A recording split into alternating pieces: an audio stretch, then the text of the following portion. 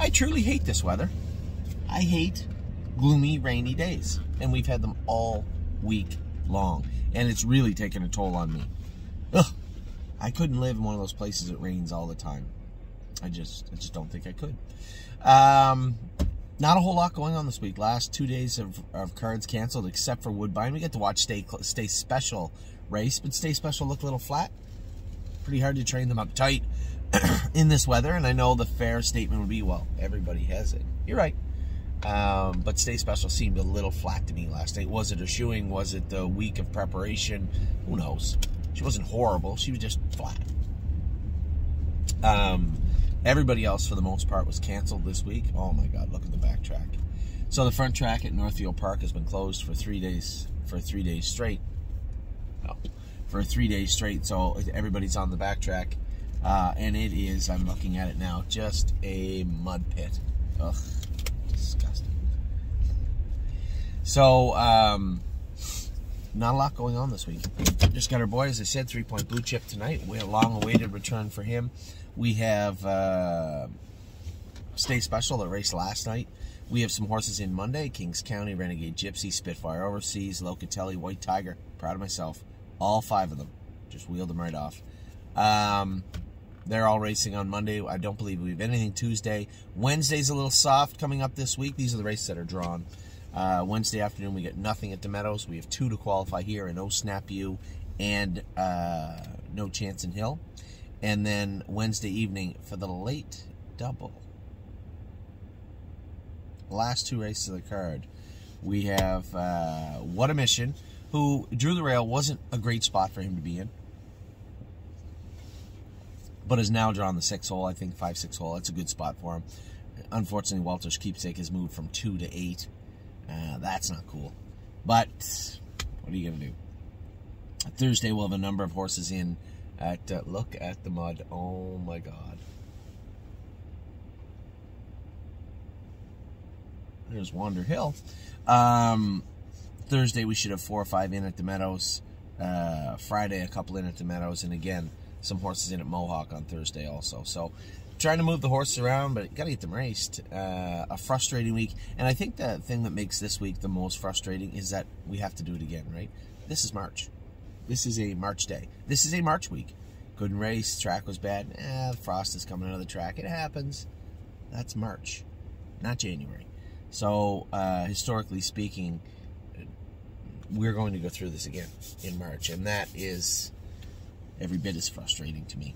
Um, so today uh, in the video today, not a ton to talk about. I, I can't really update you on the babies. Um, it's the end of the month, I suppose. I can grade everybody. I think I can do that. That would be fun. Uh, we'll grade everybody here in Ohio and the horses in Ontario. I've got a pretty good look at everybody now. Um, I'll talk about the staking today too. I had six, I think, six horses that were a little tricky. Uh, you know, Ohio's easy, regionally staked. It's easy to stake them in Ohio. It's you know Ontario, mostly Ontario. You know, horse like maybe Princess Dream, we had staked her to the maybe the Breeders' Crown or something like that, but not too many of them. Um, and then again over here, uh, Pennsylvania a little trickier because Pennsylvania. The cool thing about Pennsylvania, it's a double-edged sword. It's done early so there's lots staking. There's lots of staking after Pennsylvania. So do you use it? Do you turn them out in the field? Do you stake them to something late? Um, last year we'd staked a number of horses to the races in Indiana, but I guess truthfully speaking, a lot of that was because that's where the Breeders' Crown was, and um, those races were interesting. Are they less interesting now that the Breeders' Crown's going to New Jersey? No, I, don't know if they're less interesting. Um, it's a different timetable. It's a different look, I, I, guess is the best way to put it. But what does that mean for uh, what does that mean for our horses? So just a lot to talk about. Uh, I think we have what 55 babies and we, we close to 100 horses for sure to stake. Uh, starting in March. So a lot, are starting in February, a lot going on, a lot to talk about, but it won't be as complex. The more complex horses will be like arson, uh, pickpocket, memory and imagination. These are horses we've already talked about inside the groups. I sent notes out to everybody just saying, what do you think? But as usual, our clients are pretty much in lockstep, you know, with what with what we had outlined and, and the projections I had made. um, which is interesting. So it's just a matter of uh, getting how I usually stake the horses is I'll get on the phone with Jim at Joanne Staking for an hour and a half, and we'll talk about every horse. We'll put them kind of put them down in pencil form. Jim will compile everything and send out that report. I'll take that report and then we'll start to make changes on the report.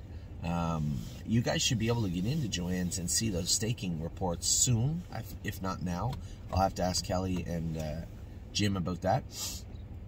So you can follow along and look, uh, but I'll give you a heads up today, a little look at what we're trying to do today, a little rough estimate. And then um, after we've made our, our first changes, we'll submit that form. And then we have up until maybe the 10th or 12th of February to lock that in type thing. And and I, I am pretty confident in what we looked at so far. March is going to be much more extensive and uh, much more painful uh, financially for sure. But February wasn't too bad, I think, uh, in what I went over with Jim yesterday. So um, that's what's on tap for today. I'll get to the videos in a little while. I think we're short a caretaker, so I'm going to have to go in and actually do some work today. Um, getting some horses ready, maybe might catch me doing the odd stall. Uh, but I would much rather do that today than go out and jog in the mud. So with that, I'm going to let you go. I hope you guys had a wonderful week. I don't know how you could have. It was kind of a crappy week, wasn't it? Weather-wise, racing-wise. Uh, we just never got a chance to. And in even further to that, today would be the day that we'd be training up the horses that are in Wednesday, right? Can't get on the track. So Walter's keepsake, going to be a little short. What a mission. I'm not too worried about him being short, but and Walter's raced quite a bit too. So I guess if you're going to pick two horses out of the barn to race on Wednesday without being able to train them on Saturday, I guess those would be the two. Um, and then Monday we can train our horses up for Thursday, Friday, etc. So we'll do the best we can to get back on track, but this weather is really uh, throwing a monkey wrench in everything and, and uh, really just sucked all around.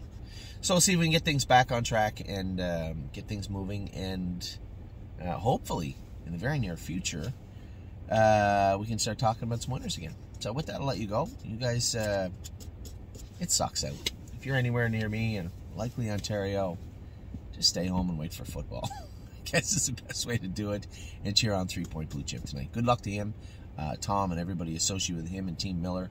Um, eager to see uh, repeats. I guess it goes without saying. I should I should mention that uh, Locatelli and Texan Soprano won last week.